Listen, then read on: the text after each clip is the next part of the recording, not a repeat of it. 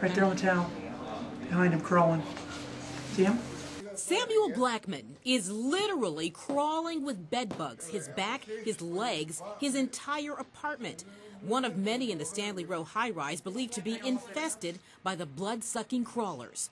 It's horrible. It gives me the creeps. You know, I, I get chills every time I think about it. I got to buy all new furniture. I don't know how I'm going to do that. In his bathtub, dead bed bugs. Mr. Blackman says they're falling from his ceiling. Metropolitan housing bosses say Mr. Blackman's apartment was treated a month ago. We are committed and we have been successful in reducing the numbers dramatically of infestations. CMHA Director Donald Troendle says his agency spent a half a million dollars trying to get rid of the bugs. Obviously, that's not enough. The air went. It just fell out, yeah.